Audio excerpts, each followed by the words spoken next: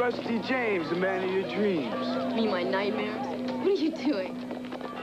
Rusty James. Listen, babe, I'm coming over tonight. Rusty James, I have to get... You like? I'm not allowed to have boyfriends over and lovers out. Since when? Since I first started Hey, having Romeo. Oh, yeah? When was this? When I was nine. Get back in there, Don. First time I ever heard about it. Yeah, well, I haven't seen you in a long time. What? I've been busy, man. So I've heard. Hey, listen, I'm coming over tonight, so you better roll out the red carpet. Yeah, well, we'll see. Hey, you're crazy about me, you know that? I am? Well, that's Matt Dillon putting the moves on Diane Lane the way a hungry shark puts the moves on its prey. It's a scene from a new film about misunderstood youth called Rumblefish. And Rumblefish is just one of the films we'll be reviewing on the sneak previews. I'm Neil Gabler. And I'm Jeffrey Lyons. In addition to our review of Rumblefish, we'll also interview the film's young stars, Diane Lane and Matt Dillon. And we'll also review Never Cry Wolf. That's the adventure movie set in the frozen Canadian Arctic.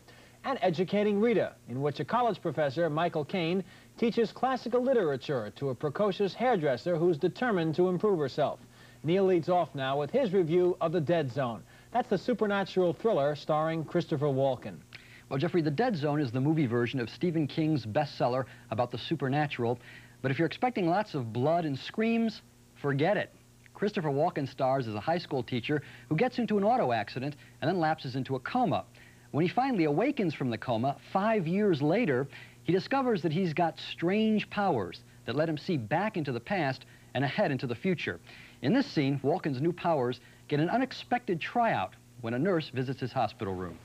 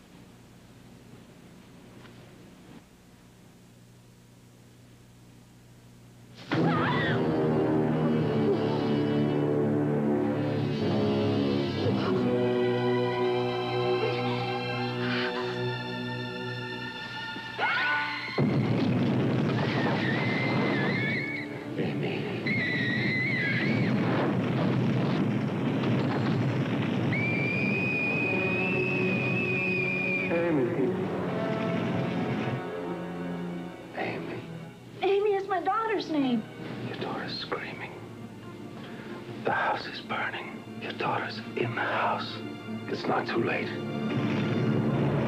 Amy.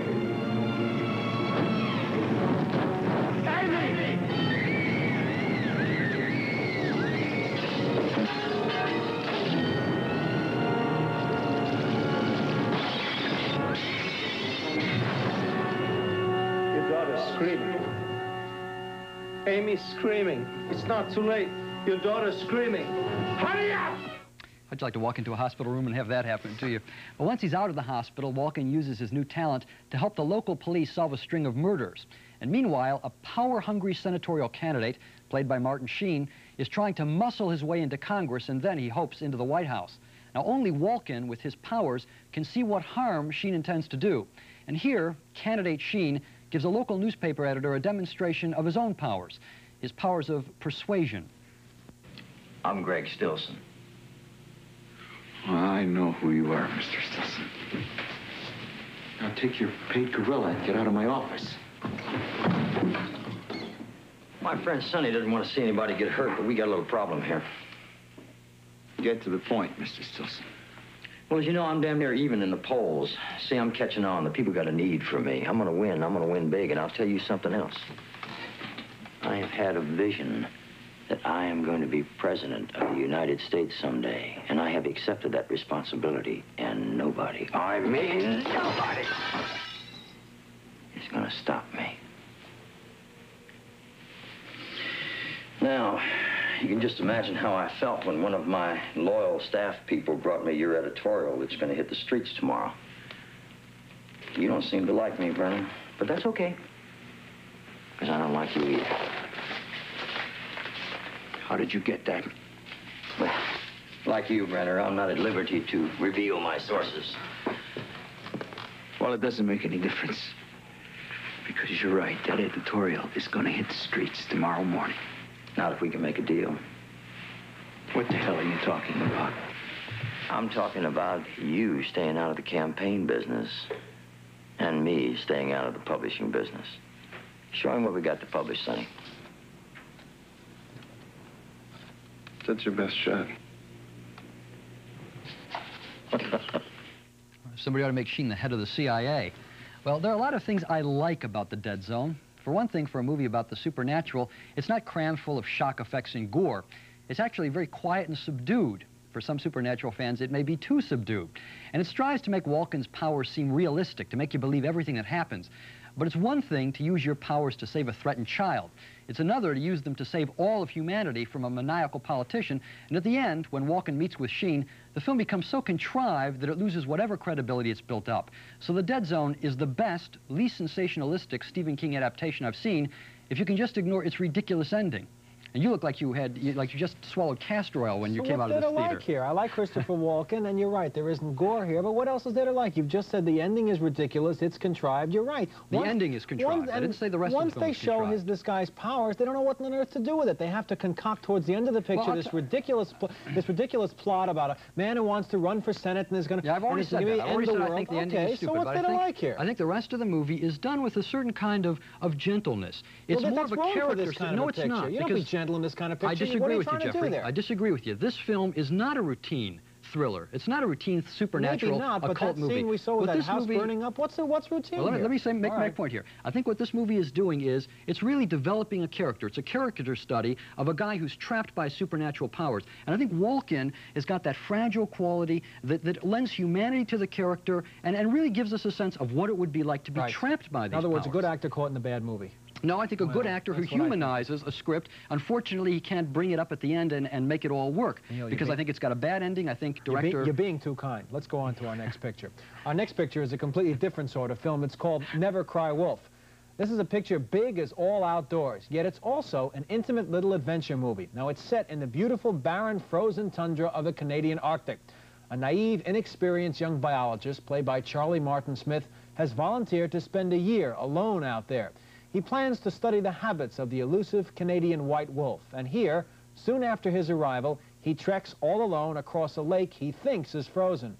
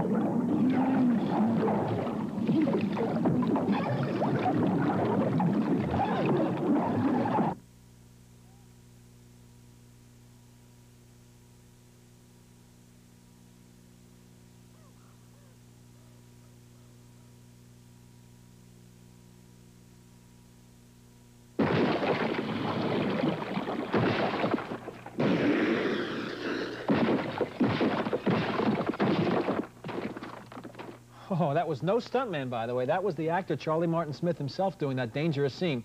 Well, he survives all that, and after several weeks of studying the wolves and of learning the hard way how to adapt to the harsh, challenging environment out there, the brave young scientist has two unexpected but very welcome visitors.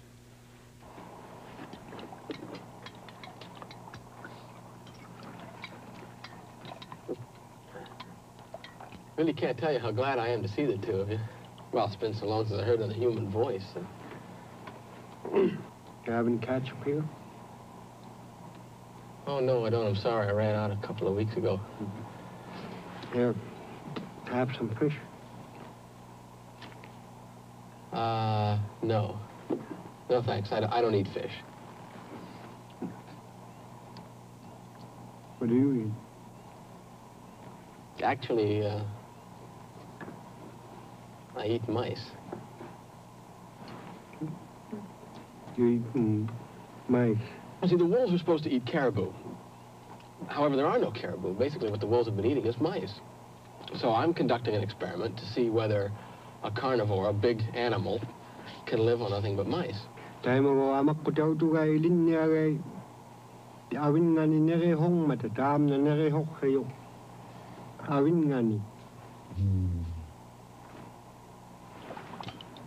Tay kay gayay. Eh, awin nga niya. What does he say? He says, good idea. That's one of those intimate moments which really make this movie very special. Never Cry Wolf was directed by Carroll Ballard. He made The Black Stallion, and this movie, too, has that same lyrical beauty about it. But it's not just a nature picture. Oh, no, it's also a story about a young man who, in the process of studying wolves, learned some important things about himself as well.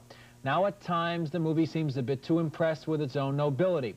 It gets needlessly symbolic, as when, for instance, he runs naked through a herd of terrified caribou.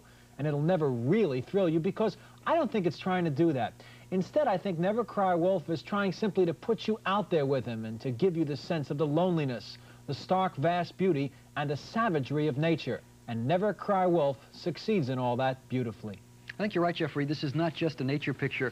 But, you know, for me, that's what I liked best about it, is that it takes you to another corner of the universe that I would probably never have a chance to see, and it treats that corner of the universe with a certain kind of respect and, and almost a religious feeling about nature. When you walk out of that picture, at least when I walked out, I felt to a degree that I had been there with this guy out in Yeah. the middle of nowhere, and that's its major aim. That's the thing that this picture is trying to do, and it worked on me, and that's why I love it so We, much. we should also say it's made by Walt Disney, and I think parents might want to know, can they take their children to this movie? Now, I would say that young children may really get bored by it because it, it, it operates more on what it shows than anything that happens in terms of its plot. But it is still a family-oriented picture without Because older children, I think, so, will yeah. really enjoy a it. nice picture. Yes, well, let's move on to our next film, which you've probably never heard of because it hasn't been strongly promoted. It's a heartbreaking romantic comedy called Educating Rita, and I'll tell you, it's absolutely wonderful. Educating Rita is an English film about a self-destructive alcoholic professor, played by Michael Caine, who's assigned to tutor after class an eager young hairdresser named Rita. And in this scene, the jaded professor meets his unusual new student. Come in. For God's sake, come in. I'm coming in, aren't I? It's that stupid bleeding handle on the door. You want to get it fixed? Uh, yes, yes, I, I, I meant to. Well, that's no good, is it? Always meaning to. You want to get on with it because one of these days you'll be sharp and come in and it'll go on forever because the poor sod on the other side won't be able to get in and you won't be able to get out. And you are? I'm a what? Huh? What? And you are? What is your name? Me first name? Well, that would at least constitute some sort of start, wouldn't it? Rita. Rita. Uh, here we are. Rita. It says here, Mrs. S. White. Oh, yes, that's S for Susan. That's just my real name. But I'm not a Susan anymore. I changed my name to Rita. You know after Rita Mae Brown? No. Rita Mae Brown, who wrote Rubyfruit Jungle. Haven't, haven't you read it? It's a fantastic book, you know. Do you want to lend it? Uh, yes, yes. Well, thank you very much. Okay. And uh, what did he call you around here? Sir. But you may call me Frank. That seems a little like the beginning of My Fair Lady, and, and the movie sets up the same situation. Rita is eager to learn, and her spontaneity and complete lack of pretension make Caine eager to teach her. But the more she learns, the less she has in common with her working class friends and relatives. And here, Caine is teaching his regular class when Rita rushes in with some news that she thinks no one else but Caine could appreciate. What is it? What's wrong? Last night, Frank, I went to the theatre. My God, I thought it was something serious. It was. It was Shakespeare. Rita, I thought something had happened to you. Something did happen to me. It was fantastic. Look, Macbeth it was. I bought the book. Oh, it, it done my head in. I thought it was going to be dead boring, but it wasn't. It was electric. Wasn't it? Why, a cow. And that fantastic bit where he meets Macduff and he thinks he's all invincible. I was on the edge of my seat at that bit because I knew. I wanted to shout out and warn him and tell Macbeth. You didn't, did you? Oh, they just throw me out the theater. Macbeth's a tragedy, isn't it? Right. Well, I, I, I, I just wanted to tell someone who'd understand. Rita, I am honored that you chose me. Wonderful little moment, and the actress there is Julie Walters, and this is her first screen role. Now, for some reason which I don't understand, Educating Rita isn't getting anywhere near the attention I think it deserves. This is one of the best pictures of the year, one of the most entertaining and moving films of the year. It's entertaining because it's got lots of clever lines and little eccentric bits of behavior, but it's moving because it's got two complex, realistic, decent characters, performed by two extraordinary actors, Julie Walters and Michael Caine. In fact, I think we sympathize so much with Rita's struggle to find her place in the world and with Caine's struggle to live with his disillusionment that for all its humor, the film may even be more heart-wrenching than it is side-splitting. Educating Rita is about human potential, Rita's, but mostly it's about people, and it's a real winner. I really love this picture, too. Watching this picture is like watching a flower bloom, like watching a woman change from a caterpillar into a beautiful butterfly, and that's a beautiful process to watch. However, there are some drawbacks to that, and I think that's why the film is sad. I mean, we see that the process isn't all good. I mean, there are negatives to it. Also, though, you do see that this actress, Julie Walters, who created the role on stage, it didn't go for a big movie star. Yes, this was a stage play first, yes, we ought to say that. She understands the character, and it's very rare that you see an actor really meshing with the character they're playing. It's about growing from inside, and you can really see that process happening on screen. The movie does not condescend to not its characters. I think that's one of the things that, that you're, you're pointing to here. It doesn't condescend to them, and it's got the quality of great romantic comedies. It's got heart, and I do not understand why the studio is not pushing the heck out of this picture unless it believes that because it comes from England, people aren't going to go to see it, and, and yet it's so satisfying. It's an intelligent picture. I just wish they'd promote it because I wish everybody would see it. Well, I hope if our members of the audience who do get a chance to see it, I would wish that they would send us some, some cards and tell us how they respond to it because it's a wonderful picture. Okay, well, let's go on to our next movie, which is Rumblefish. Now, Rumblefish is from director Francis Ford Coppola.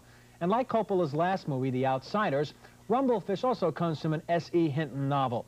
And it's also about alienated teenage punks, and it also stars Matt Dillon.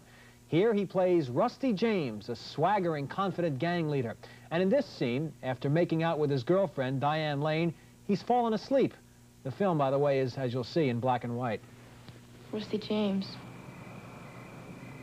Rusty James. What time is it? It's morning or night? Night. You're great company. Quarter to ten. Gotta fight Biff Wilcox at ten.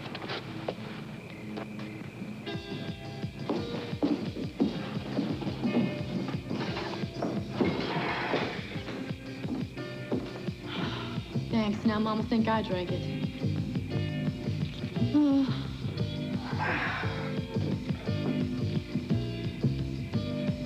Finish it.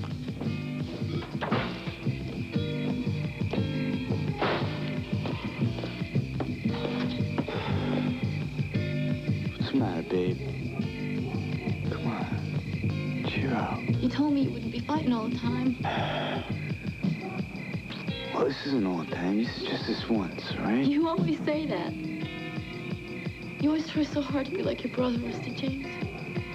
Hey, my brother's the coolest. Well, you're better than cool. You're warm. Yeah, but he's smart. You're smart. You're just not word smart. Yeah?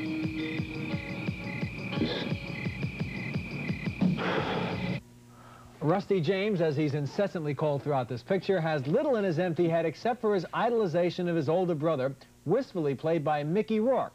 Now, he plays a local legend who's just returned to town from a trip to California. And here he tells Rusty James he's seen their long-absent mother. You know, I stopped being a kid when I was five. Yeah. I wonder when I'm gonna stop being a little kid. Not ever. I saw Mother when I was out in California.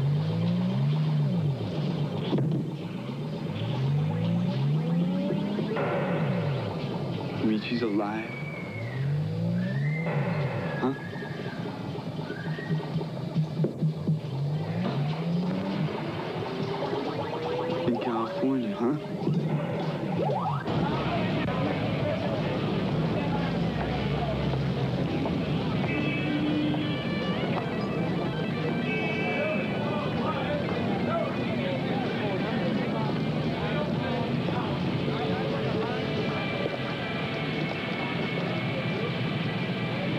I saw her on television. I was sitting in a comfortable bar and I was minding my own business.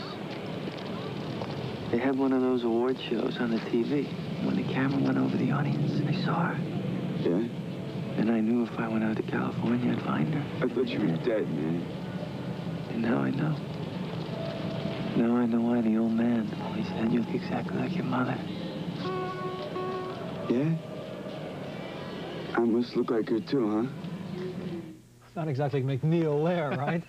For the first 10 minutes, Coppola's black and white, dreamlike atmosphere is quite intriguing and captivating, I admit. But pretty soon after that, you'll begin to get restless, wondering just what on earth Coppola is trying to say or do here. This slice of life in the aimless, violent world of a tough street thug may be the basis for an interesting character, I suppose, but Coppola does absolutely nothing with it. Trying desperately to be visually poetic, Rumblefish quickly becomes just a series of tiresome, unrelated conversations, punctuated by cutesy, self-indulgent director's tricks. There are smoke-filled street scenes, for instance, a levitating body, an ominous storm cloud speeding by overhead. But it's all just meaningless claptrap, amounting to absolutely nothing. You don't care at all about this mumbling punk Rusty James, or his friends, or their world. And pretty soon, Rumblefish becomes just an empty, over-directed ordeal. What is wrong with Coppola? I mean, he's Ah. still a pretty good visual director. I mean, there's some very beautiful images in this movie, but he makes no contact whatsoever with human feelings. Watching this movie, it's so dead, it's like, it's like walking through a morgue. This picture should be called Mumblefish. Everybody is doing their James Dean imitation here, and it's the director's fault. He should have stopped him and said, look, something, nothing may be going on here, but at least you guys should give a different kind of performance. Well, look. Coppola calls this an art film for Oh. kids, and arty it certainly is with all of these uh, self-conscious images and all of these symbols, but teenagers, the last thing they want to see is a movie that sets out to be art. That's why they go to the movies, is to get away from art. And I think Mumblefish or Rumblefish is the last thing they're going to want to see. So, even though neither Neil nor I liked Rumblefish, we do at least recognize that Matt Dillon and Diane Lane are two rising young stars. They also appeared together in Coppola's previous film, The Outsiders. Neil asked Diane Lane about the difference between Coppola's direction of The Outsiders and his direction of Rumblefish. I think he was a little freer on, uh, he felt a little freer on Rumblefish. That's just what it seemed like to me. Then again, he could have been just trying to come off that way because he really wasn't or something. Maybe he was very uptight about it. But he, he seemed to uh, have more to work with on Rumblefish that he could get his, sink his teeth into more than on The Outsiders. It's, uh, it's got a rougher edge to it than Outsiders did, by far, I guess different situation because you're you're uh, you're on edge a lot more with Francis. You're on on the edge of you don't know what, you know, when you're working. Because he you can't doesn't really tell be you? sure what's going to come next. yeah, yeah, which is exciting if you trust him. I trusted him, so it wasn't scary for me.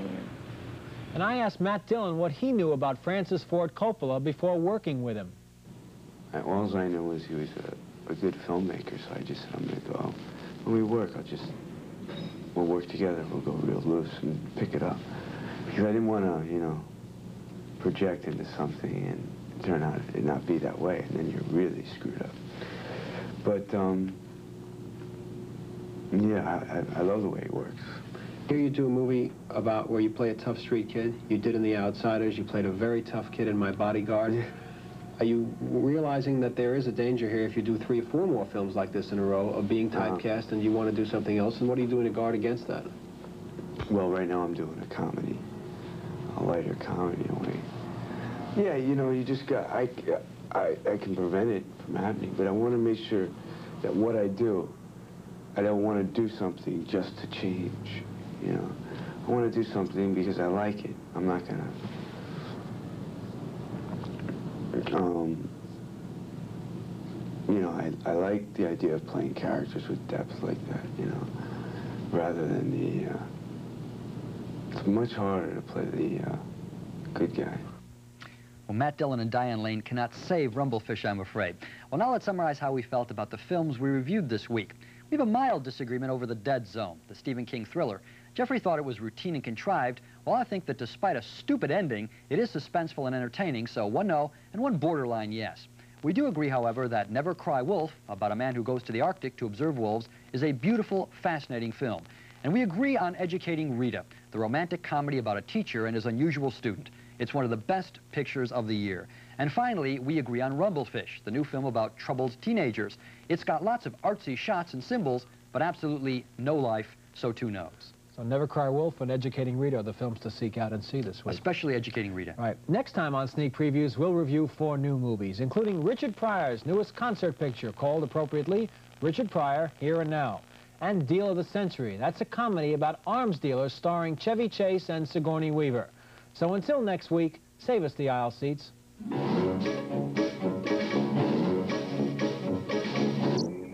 Tank Buster with infrared capability for